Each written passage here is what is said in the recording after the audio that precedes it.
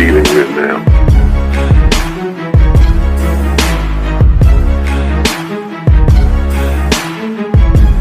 Ha ha ha ha ha ha!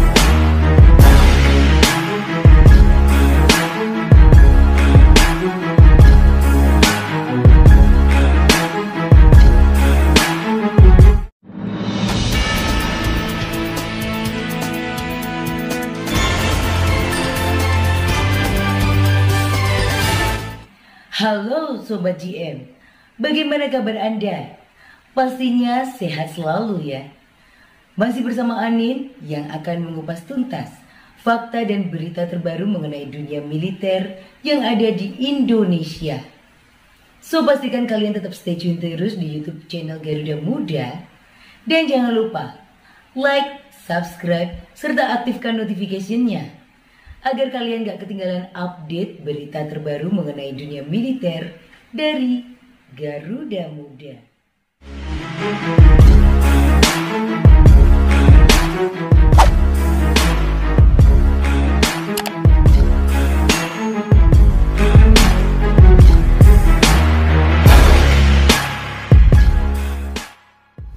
Sebanyak 100 insinyur Indonesia dilaporkan akan bertolak ke Korea Selatan mereka akan ikut serta mengembangkan kembali jet tempur kerjasama Indonesia Korsel KF-21 IFA.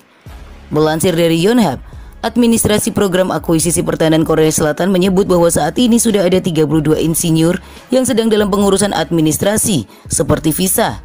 Dijadwalkan nantinya 100 insinyur akan tiba dan bekerja pada akhir tahun ini.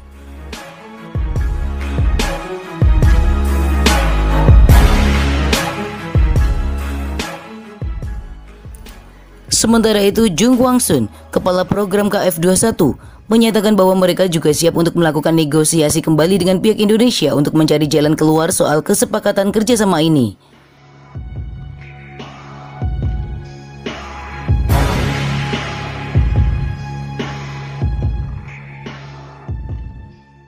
Proyek KF21 IFX sendiri dimulai pada 2015 antar kedua negara. Korsel dan Indonesia sepakat membangun pesawat tempur itu dengan biaya sekitar 7,6 miliar US dollar atau setara hampir 110 triliun rupiah dengan RI membiayai 20% dari pengembangannya.